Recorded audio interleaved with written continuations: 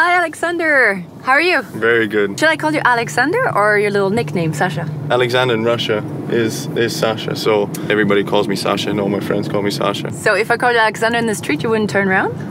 Probably not. No, okay, so we'll go for Sasha then. How is it to be back in Paris? it's nice. Uh, hopefully the weather will stay like it is now. But I'm very I'm very happy to be back. Obviously, had a good clay court season. I'm looking forward to to kind of continue this uh, here. Do you know a few words in French? A few, yeah. I live in Monaco, so I know. So you speak few. a bit of French then? I don't speak a bit of French. I can't say that. I would understand maybe a little bit, but as soon as I would have to speak, I would kind of panic. All your family plays tennis, right?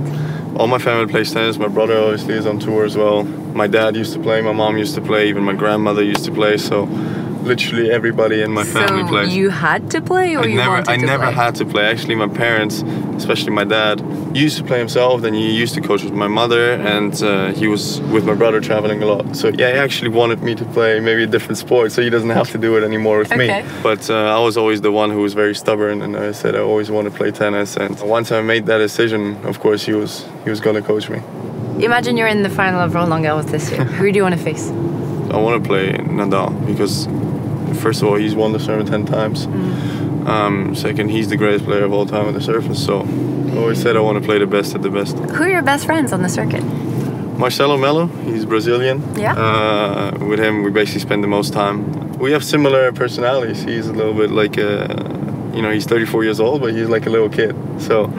I we- thought we you do- were going to say he's like my big brother. No, no, no, No. he's not. He's definitely not. I have to teach him every single thing about life. Yes. Okay. It's, it's amazing. So you would say you're mature? I'm not gonna say that about myself. I never say anything. For me, it's more important to show what, what, what you do and how you are and what kind of person you are. Well, your tennis, you know, talks for himself. Really. Exactly. So, for me, I don't, I don't like the people that scream out to the world, "Oh, they're the best at this, they're the best at that." I'm never so gonna say that about great myself. champion, humble, and nice person. If That's that the is- resume. If, if that is all true, then Okay, Sasha, here we are, Roland Garros. Well, thank you very much for Have the a great nice training. ride. Yes, Okay, it was I lovely. appreciate it. Thank you.